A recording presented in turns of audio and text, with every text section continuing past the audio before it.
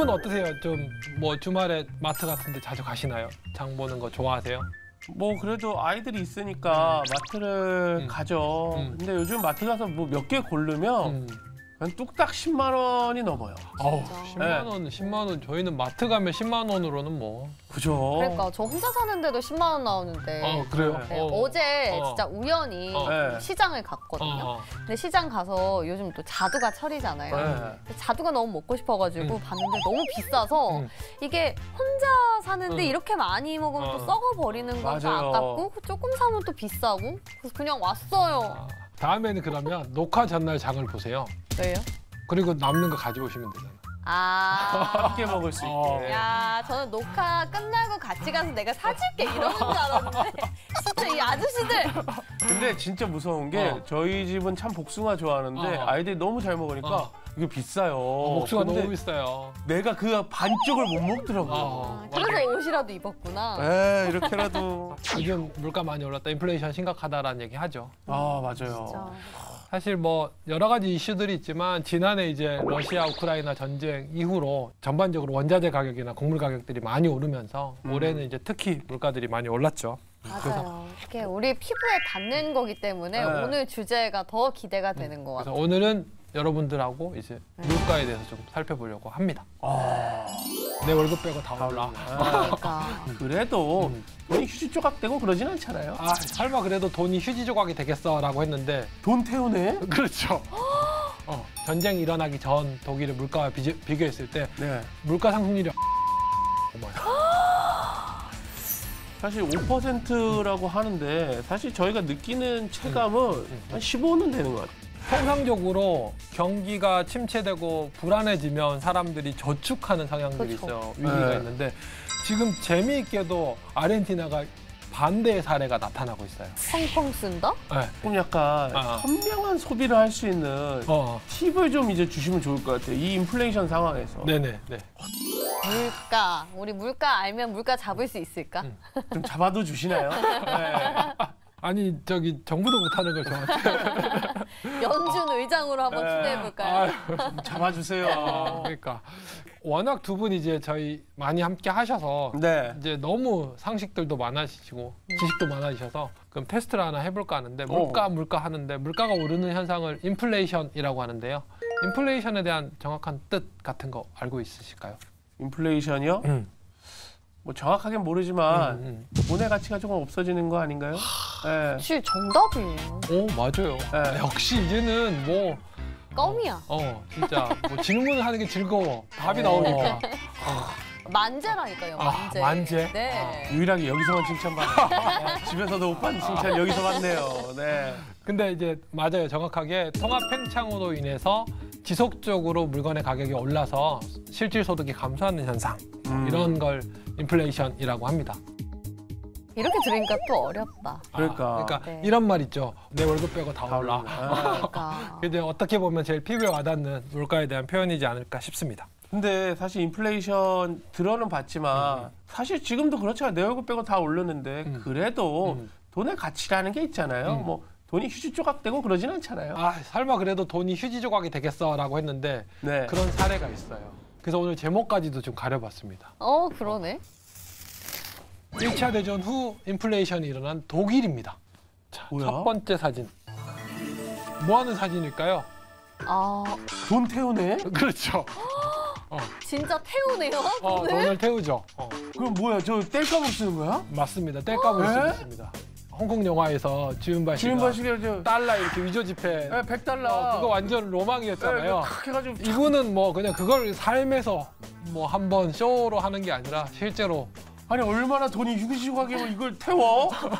이 시기에 실제로 독일은 도배를 종이로 했어요. 벽지보다 마르크화가 더 싸니까. 돈으로. 돈으로. 돈으로 벽지보다 싸서 1차 대전 후 승전국들이 독일한테 전후 배상금을 갚는 데서 이제 독일이 돈을 찍어서 하다 보니 돈의 가치가 급격히 떨어진 거죠. 아 이게 이제 1923년도 모습인데요. 전쟁이 일어나기 전 독일의 물가와 비교, 비교했을 때 네. 물가 상승률이 얼마쯤 되는지 아세요? 전이랑 음. 일 1차 대전 끝나고랑 300%. 300% 3배. 네, 3배. 3만 퍼센트. 3만 퍼센트. 아니 10만도 넘을 것 음, 같아. 음, 음, 음. 10억 배라고 합니다. 10억 배요? 네네. 당시 1920년대에 미국 1달러와 교환된 마르크가 4조 마르크가 넘어요. 돈이 아니네요. 아니죠. 그러니까 네. 이렇게 하는 거죠. 그럼 뭐 물로 거래를 해요? 뭐 물건 사거나 할때 물물 거래를 해야 되나 이러면? 일주일 전에 이번 주에 일하면 시급이 5만 원이야 했는데 그래 그럼 나 5만 원으로 햄버거 3개는 사 먹겠지 했는데 월급을 받고 햄버거 가게에 가면 햄버거가 10만 원이 돼 있어. 그러면 진짜 이때 당시에 돈 예금 해놨던 거나 이런 게 완전 휴지 조각이네요. 그렇죠. 10억 퍼센트가 올랐어요라는 말은 값어치가 10억 퍼센트가 하락했어요 예요.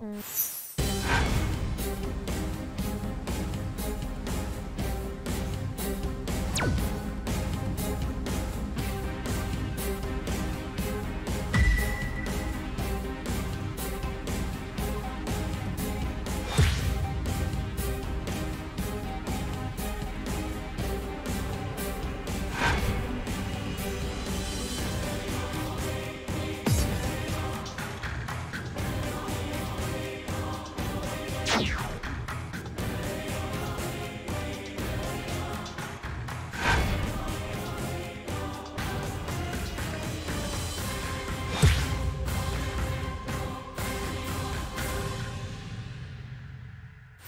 어쨌든 이 인플레이션이란 것 자체가 그 기준점이 화폐잖아요. 그렇죠. 그럼 인플레이션이 화폐가 생기기 시작했을 때부터 있었던 건가요, 박사님? 아, 네. 중요한 질문이세요. 맞아요. 그 인플레이션의 제일 중요한 요인 중에 하나가 화폐가 굉장히 민감하게 어, 음. 연관, 연관이 돼 있어요. 그래서 화폐를 발행했던 국가, 화폐 경제가 있었던 나라에서는 인플레이션들이 과거에도 거의 2000년 전에 로마에서도 이제 인플레이션이 발생합니다. 그러니까 뭐냐면 로마가 크게 이제 금화, 은화, 동화들을 화폐로 사용을 했는데요. 주로 이제 로마 시절에 유통되던 화폐는 동전은 이제 은하였는데 그 은하들의 이제 가치들이 급격히 하락합니다.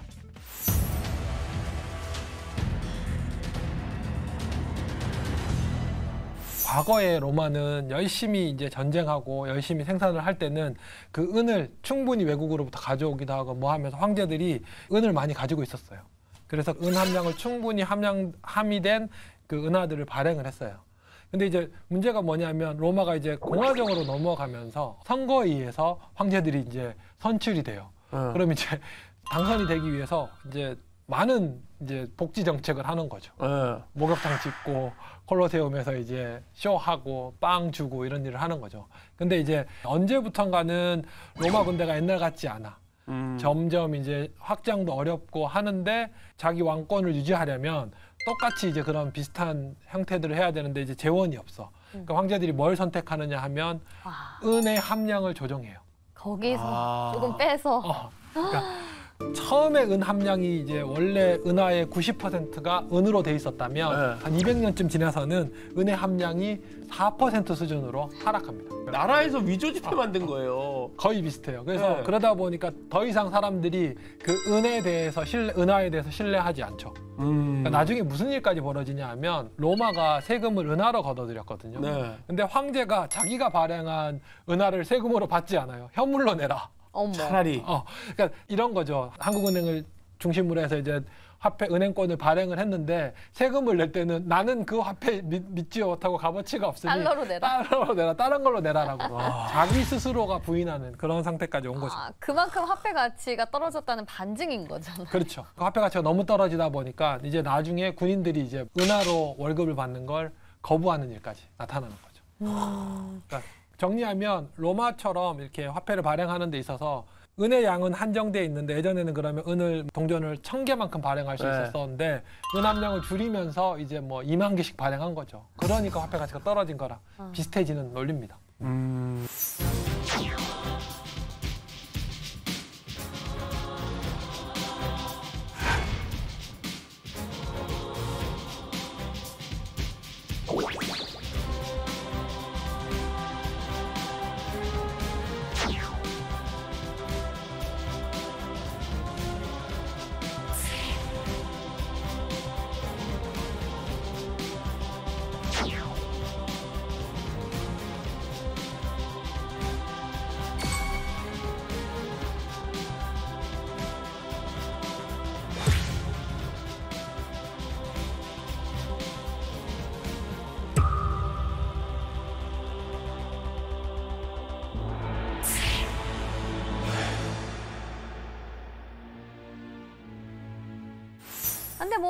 말씀해 주신 건 음. 사실 굉장히 음.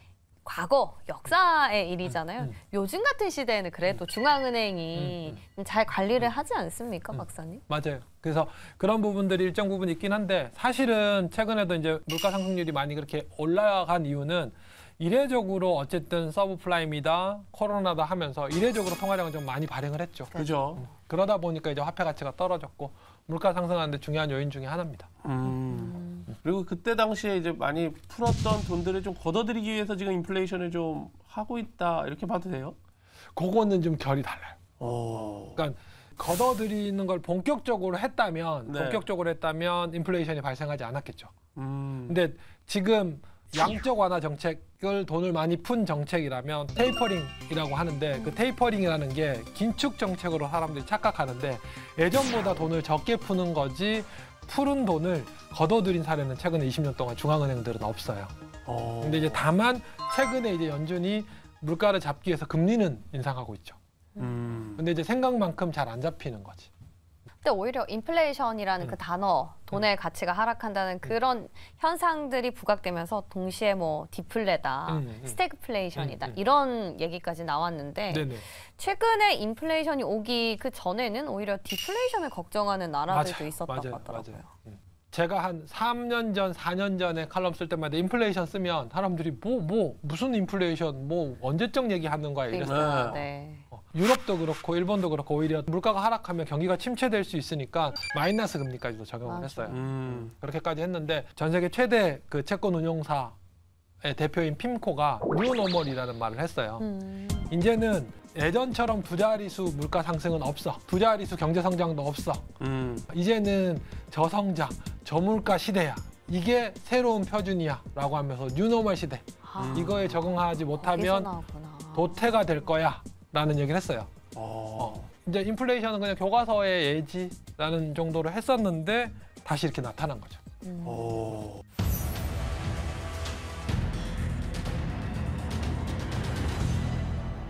최근에 소비자 물가 지수는 진짜 어땠는지 한번 살펴보도록 하겠습니다. 뒤를 잠깐 보시죠.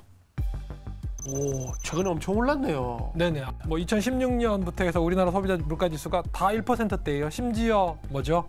2019년에는 0%대예요. 근데 이제 지난해부터 좀 상승하기 시작해서 최근에는 5%까지 5%. 아, 상승을 했죠. 사실 5%라고 하는데 사실 저희가 느끼는 체감은 한 15는 되는 것 같아요. 15는 되죠. 네, 동규 씨 말씀하신 대로 이 실제로 우리가 체감하는 물가하고 이 통계청에서 발표하는 소비자 물가 지수하고는 괴리가 있을 수밖에 없습니다. 뒤에 있는 소비자 물가 지수 산정 품목들을 보시면 조금 이해가 가실 겁니다. 뒤를 잠깐 보시죠. 아, 오. 이게 품목 간에 좀 차별이 있어서 괴리가 있구나. 그렇죠.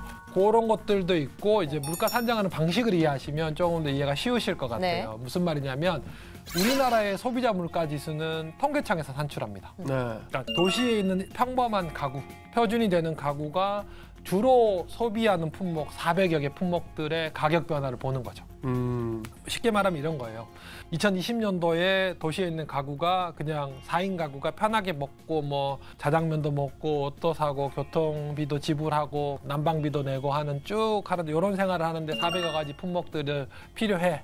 그리고 그 품목들을 소비하는데 이만큼 지출이 필요해. 음. 예를 들면 그게 이제 150만 원이었어. 음. 라고 하면 지금 그것과 똑같은 소비를 했을 때 얼마가 더 들지? 예를 들면 165만 원이야. 음. 라고 하면 전에는 150만 원에서 165만 원 10% 상승했네 라고 음. 하는 거예요. 어. 지금 소비자 물가 지수가 5.1% 상승했다라고 하는 말은 기준 연도 대비해서 똑같은 생활을 유지하는 데 있어서 지출액이 5.1%더 많이 필요해라는 거죠. 아. 음. 그러면은 물가 상승률도 있지만 우리 애들 상승률도 있겠네요. 아, 뭐 그런 것도 있죠. 왜냐면 애들이 더 잘 먹거든요. 어, 맞아. 어, 그렇죠. 네. 양이 늘- 늘어난 것도 있는데, 근데 그런 것들이 사실은 좀 하나 또 보는 게 괴리 나타나는 이유 중에 하나가 이런 거예요. 마트 가서 과일 사고 뭐 무슨 야채 사고 할 때는 "헉, 비싸 이렇게 많이 올랐어 이런 얘기 하잖아요. 그런데 사실은 저희가 그냥 평균적으로 가계 소비 지출하는 데서 마트 돈 많이 쓴다라고 하지만 실제로는 과일값, 뭐 엔게지수라고 하는데 식료품 값이 차지하는 비중이 생각보다 그렇게 크지 않아요. 음. 음. 우리가 입는 옷, 뭐 휴대전화, 자동차 이런 것들은 가끔 소비하잖아요. 네. 근데 얘들 가격은 별로 안 올라요. 어. 아. 심지어 같은 품질이라고 생각하면 오히려 하락하는 경향들이 있죠. 어. 그러니까 이걸 지출액으로 평균을 내버리니까 여기 막뭐 과일값 뭐 이런 거 많이 올랐던 거는 그냥 통계치로 얘기하면 많이 상쇄가 되는 셈인 거죠. 어. 이게 뭔가 여러 가지 품목을 음. 갖다가 합산해가지고 지표를 계산을 하다 보니까 좀 체감이랑 좀 그렇죠. 다른 그 괴리감이 생기는 것 같아요. 특히 이제 공산품들은 금액은 크고 소비하는 그렇죠. 수량은 많지 않아. 저 음. 어, 근데 반면에 농산품이나 교통비 같은 것들은 매일 네. 어, 지하철 요금 오르면 한 20, 30% 올라요. 어. 네. 근데 뭐 한 1년 동안 택 찍을 때마다 짜증이 날 거잖아. 네. 비싸 비싸 이렇게 되는데 보통 사람들이 싫은 건 많이 기억하고 음. 좋은 건 또 잊어버리잖아요. 그런 어. 계리율도 있고. 그래서 네. 그래서 만약에 물가 지수가 5% 상승했다. 그럼 꽤 많이 상승한 겁니다. 어. 음, 그러네. 그 평균이 다 올라가. 평균치를 냈는데 그 정도 상승했다라고 하면 꽤 많이 상승한 거죠. 그 어떤 이야기를 들어도 음. 위안이 안 돼요. 복숭아 못 드셔서 그래요 어제. 예. 제가 다음에는 다음 녹화 때는 봉기씨 미리 오시면 네. 복숭아랑 자두 준비해. 아, 자도 입고 있으면 서운할 뻔했는데. 그러니까 이거는 꼭 기억할 거예요. 예. 아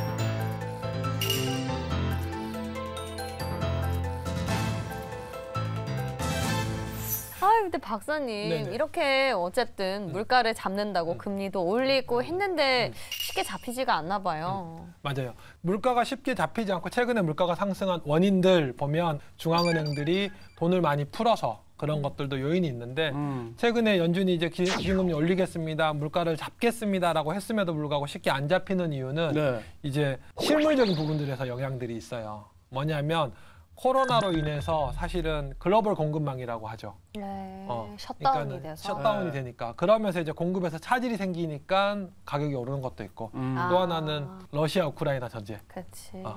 안 그래도 유동성이 많아서 뭔가 자산 시장으로 또 원자재 시장으로 자금이 흘러가서 상승하고 있는 중에 전쟁이라는 이슈까지 생겨나니까 이제 가격이 더 높아지는 거죠. 음. 게다가 러시아랑 우크라이나가 전 세계에서 손꼽히는 지하 자원이랑 곡물을 수출하는 그죠. 국가니까. 예. 엎친 데 덮친 격이네요. 그러니까. 네. 그리고 제가 살면서 느끼는데 한 번 올라간 가격은 잘 안 내려와요. 음, 예. 맞아요, 맞아요. 예. 그리고 전 세계적으로는 좀 어떻습니까 요즘? 한국이 오히려 좀 이렇게 덜 오른 것 같다. 예. 라는 얘기를 하는데 전반적으로 세계인들이 기억하는 물가 상승은 오일샥일 때거든요. 음. 70년대, 80년대 초반. 네. 요때 물가 상승률과 거의 비슷한 수준으로 미국이 올라요. 소비자 물가 지수가 지난해 8%까지 오르기도 했어요. 대단하게 올랐네. 그건 이제 월간으로 비교했을 때고 발표에 따르면 이제 최근의 물가 상승률을 보면 이제 미국은 평균 연평균 한 4%, 많이 한국은 한 내려왔네. 3.3%, 네, 네. 유럽은 6.1%입니다. 최근에 가장 물가 상승률이 높은 나라가 아르헨티나인데요. 114%, 114% 가량 물가가 상승했습니다. 아니 요즘 같은 아. 시기에 그렇죠. 114. 근데 아까 말했던 그 사- 산출하는 공식으로 환원했는데도 불구하고 114%예요. 야, 그럼 여기도 그- 지금 그치. 돈이 돈이 돈이 아니겠어요. 그렇죠. 네. 어. 그럼 그 공상품마저도 그렇게 그렇죠. 많이 그런 것들까지도 올랐다는 거죠. 어. 메시 어떻게 해요, 그럼? 메신 유럽에 사니까 월급을 아르헨티나 페소가 아니라 어. 유로화로 받으니까 진짜 메시는 이거 유- 저기 아르헨티나 본국으로 돌아가면 진짜 어마어마한 부자가 되겠죠. 그럼 어. 떻게 남미 사람들은 지금 조금 아껴 쓰고 뭐 음. 이래야 되는 음, 음, 음. 상황이겠네요? 음, 음.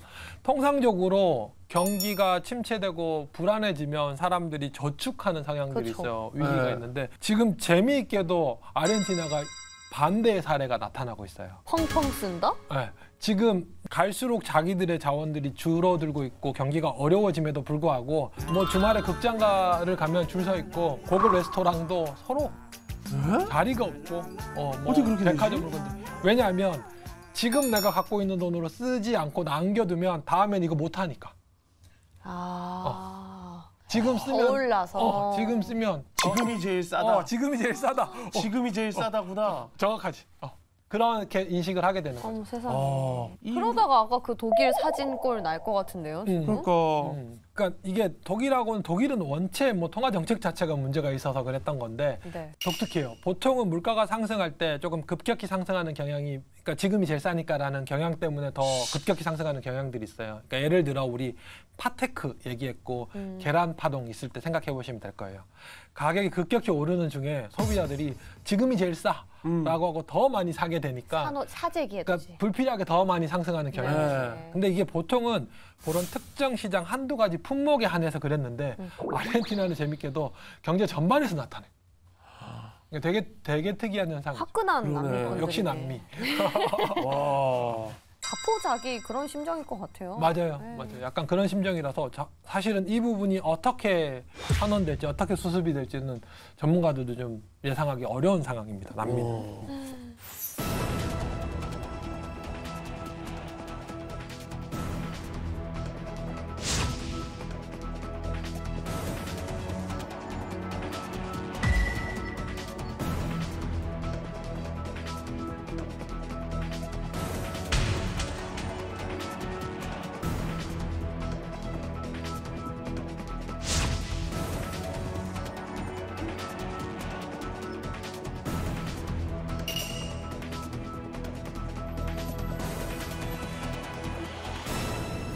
오. 이런 인플레이션 영향이 삶에 네. 사람들의 삶에 어떤 영향을 미치는지 어, 이런 부분들은 또 이번에도 지영 아나운서께서 알차게 준비해 주셨다고 들었습니다. 네, 인플레이션이 가져온 현 주소의 모습을 저와 함께 만나보시죠.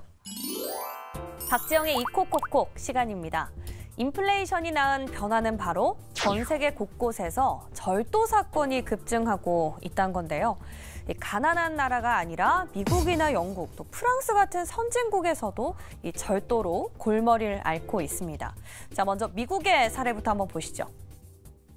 미국에선 세제나 비누 같은 품목에도 자물쇠를 채우고 있는 매장이 늘어나고 있다고 합니다. 그런데 그 이유는 바로 오프라인 매장에서 물건을 훔쳐서 온라인에서 되파는 그런 범죄가 급증하고 있기 때문인데요.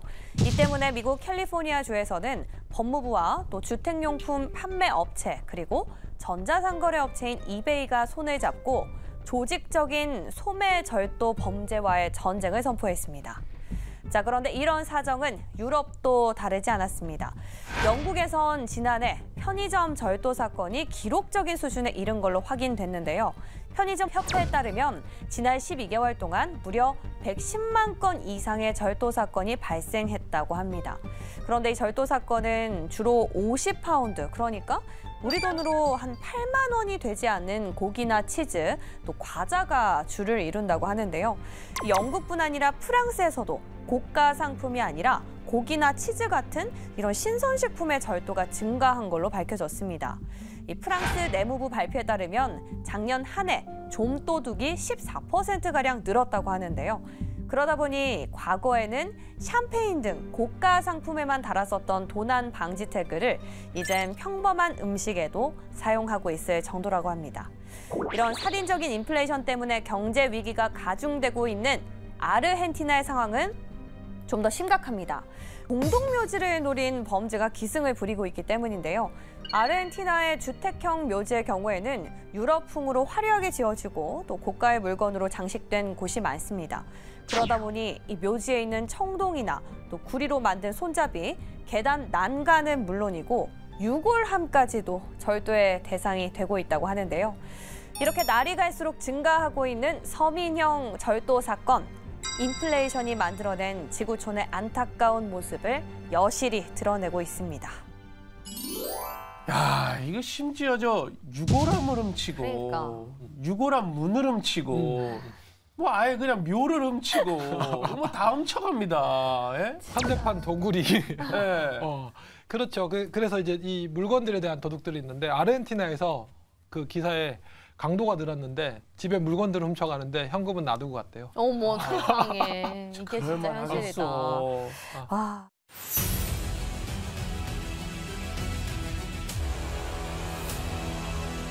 이 인플레이션 지금 이제 뭐 아르헨티나 예를 들면서 얘기를 했는데 지- 아까 뭐 독일 얘기도 했는데 인플레이션이 이렇게 나쁜 역할만 할까요? 음. 아프죠. 지금 가치가 없잖아요. 지금 음. 이게 막상 내일이라고 생각해봐요. 지금까지 저축했던 내 돈이 휴지가 되는데. 근데 저는 사실 반대 얘기를 좀 들었던 게 있는데 오히려 디플레이션이면 정말 답이 없는데 인플레이션은 오히려 경기 부양의 효과를 좀 불러오기도 한다는 얘기를 하더라고요. 역시 오. 네. 이코스토리 10회가 넘어가면 지영 아나운서도 이제 박사님의 제자입니다. 아. 아, 맞아요. 서브프라임 이후에 유럽이나 일본의 경우에는 물가가 약간 마이너스 0%대로 머무니까 디플레이션 우려를 했어요. 네. 그러니까 뭐냐면 물가가 떨어지면 좋을 것 같은데 그렇지 않아요. 오히려 물가가 떨어지면 사람들이 더 소비를 안 해요. 음. 왜냐하면 놔두면 더 싸질 테니까. 아. 그러니까 실제 실물 수요가 더 줄어드니까 경기가 더 침체되죠. 그렇죠. 그래서 약간의 물가 상승은 오히려 소비나 투자를 진작하는 효과가 있어요. 진짜 물가 잡기가 참 어렵네요. 이야기 들어보니까. 그래서 보통은 보면 경제학자들이 그 연준들도 그래서 중앙은행들도 그렇게 해서 이제 그 기준을 많이 쓰는데 인플레이션을 2%를 적정 수준으로 보고 음. 그 정도 유지하려고 얘기, 애를 써요. 네. 어. 아 그래서 항상 연준이 2%라고 하구나. 그 정도 될 때 안정적으로 이제 큰 물가로 화폐 가치의 변화로 인해서 경제 왜곡 없이 음. 또 약간의 소비와 투자가 진작되면서 경기가 상승하는 효과가 있다라고 해서 음. 2% 수준 정도의 인플레이션율은 좋은 걸로. 어.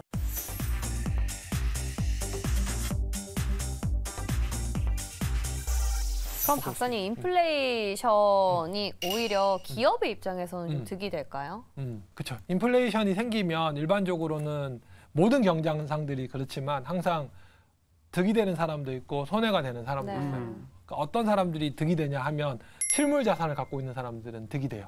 음. 음. 그에 반해서 이제 현금성 자산을 갖고 있는 사람들은 손해가 나겠죠. 음. 그리고 이제 재밌는 게 물가가 상승하면 인플레이션이 발생하면 돈을 빌려준 사람이 유리할까요? 돈을 빌린 사람이 유리할까요?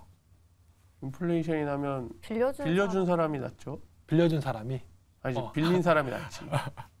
요거 헷갈리죠. 어, 요거 헷갈리는데 이렇게 생각해 보시면 네. 돼요.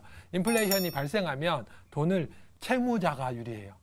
돈을 음. 빌려준 채권자는 불리하고 어 왜요? 어, 갚을 때 예전만큼의 값어치가 없으니까. 아, 아, 돈의 값어치가 없으니까. 그러네. 생각해 보니까 왜냐면 더 많이 갚아야 된다고 생각해서 아, 나 이자 이자 생각했는데 이자는 배제였군요. 아니 아니 이자가 돈을 갚을 때 이자 이자율을 정하는 게 아니잖아요. 그렇죠. 돈을 빌릴 때 정하잖아요. 예. 그러니까 이렇게 생각해 보시면 돼요. 내가 핸드폰을 사려고 100만 원짜리 핸드폰을 사려고 지영 아나운서한테 100만 원을 빌렸어. 예. 지영 아나운서는 지금 살까 하다가 내년에 사야지 그러면 하고 이제 100만 원 저한테 빌려줬어요. 네. 근데 이자를 10% 줄게 한 거야. 그래서 이제 110만 원 갚게 된 거죠. 근데 물가 상승률이 20%가 됐어. 음. 그래서 이제 핸드폰 가격은 120만 원이 된 거예요. 예. 그러면 저는 110만 원 갚으면서 핸드폰 못 살 텐데 하는데 저는 예전에 그 돈으로 핸드폰을 살 수 있었잖아. 어. 근데 지영 아나운서는 원금 100만 원, 이자 10만 원까지 챙겨도 핸드폰을 못, 사. 사니까. 아. 어, 그 핸드폰의 값어치가 저한테로 옮겨온 거죠. 아, 그러네. 그러네. 어, 그래서 인플레이션이 특히 예상치 못하게 급격히 나타나면 이제 손해를 보는 사람과 이득을 보는 사람이 생기는데 채권자는 손해를 보고 그러네. 채무자는 이득을 봐요. 이득이네. 자, 이거는 경제적으로 좋은 현상일까요? 나쁜 현상일까요? 안 좋은 현상이죠. 아, 그래요? 아니 어떻게 빌려준 사람이 손해를 보는데 어, 예? 어. 안 좋은 현상 아닙니까? 어떠세요? 저는 돈을 빌려야겠다 이 생각을 하고 있었거든요 지금. 야, 이게 참 놀랍네요. 왜냐하면 실제로는 예금 순자산이 플러스인 분이고 네. 여기 대출자인데 예. 빌린 사람이 어 아니 그, 그 맞지 않아요? 아. 근데 아, 제가 좀 당황스러운데 보통은 이렇게 얘기하면 네. 어 좋은 거 아닌가요? 돈을 돈이 많은 채권자들은 음. 손해를 좀 보고 음. 좀 돈이 없는 채무자들이 좀 이렇게 이득을 보는 게 인지상 선하잖아요. 어, 어. 그렇게 보통은 이렇게 하는데 네. 이게 얘기를 하시니까 야 역시 이 마인드 자체가 투자 기업가. 마인드, 기업가 마인드가 있으신 것 같아요. 아 닌 것 같아요. 사람 놀리는 거 찍어가지고. 같아요. 지금 내가 볼때 사람 놀리시는 것 같아요. 아니에요, 아니에요. 너좀 악독하다 이런 아니에요, 얘기를 좀 아니에요. 돌려서 하신 것 같아요. 근데 기본적으로 네. 경제 내에서 경제 내에서 저축하는 주체는 가계예요. 음. 개인 이고 돈을 빌리는 주체가 주로 정부나 기업이에요. 음. 그러니까 개인의 부가 기업이나 정부로 이전되기 쉬운 거죠. 음. 인플레이션이 있을 때. 그러니까 그런 문제들이 생겨납니다. 아, 참좀 이해가 될 듯 말 듯하다 어렵죠. 맞아요.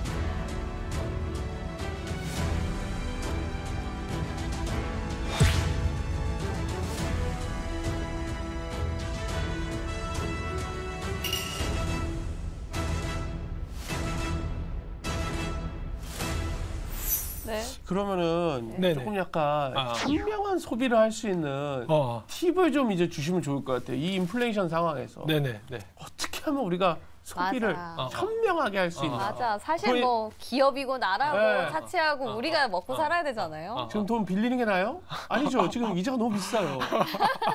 어떻게 해야 되지? 아, 저 이런 질문 참 늘 난감한데 네. 그럴 수 있어요. 그러니까는 인플레이션율이 심하니까 네. 그러면 사재기를 할까? 창고를 하나 지어서 네. 창고에다가 이렇게 비누, 생수, 라면 이런 거 쌓아놓으면 좋을까 하는데 음. 사실은 어떤 면에서는 제일 현명한 거는 늘 기회비용을 생각하셔야죠. 창고에 물건을 많이 쌓아놓고 이게 돈이 묶이는 것보다는 음. 차라리 인플레이션이 높을 때는 아까도 얘기했지만 이자율이 높아져요. 음. 수익률이 명목 수익률들이 다 높아져요. 인플레이션 하에서는 실물 자산에 투자하는 사람들은 유리하다. 그렇죠. 반면에 금융 자산에 투자하는 사람들은 불리하다. 그러니까 그 밸런스를 잘 맞추셔야 되죠. 원래는 실물 자산의 대표적인 투자 자산이 이제 금이라든지 네. 부동산이었는데 네. 최근에 부동산 부분은 이미 화폐적인 네. 현상, 유동성에 대한 것들이 반영이 돼 있는 상태라서 좀 일단 예외로. 예외로 모르겠습니다. 음. 금사란 이야기신 거죠? 주식 빼고. 저희 금 얘기도 잠깐 전에 이코스트리에서 했었는데 투자는 늘 개인의 어, 판단. 어, 네. 판단에 따라서 어, 네. 하시기 바랍니다. 예전에는 해외여행 쉽지 않았잖아요. 맞아요. 귀국하면 온 가족이 마중 나가서 어, 세계화, 그 다음에 글로벌이 너무 이제 당연하게 받아들여져서 되짚어볼 필요가 있겠다라는 생각이 좀 들었어요. 한국은 경제 성장의 포인트를 수출 주도형으로 경제 성장하자였어요. 흥선대원군 얘기도 계속 들었으면 어, 어. 끝장났어. 실제로 맞아요. 폐쇄적으로 가면 제국들이 다 망해요. 저는 오늘 이렇게 함께 해보면서 가서 음. 다시 방송으로 또 봐야겠다. 한세 번 정도 봐야 이해가 될 것 같아요. 채권자 친문제 이거 좀 헷갈리셨죠? 아, 헷갈려요.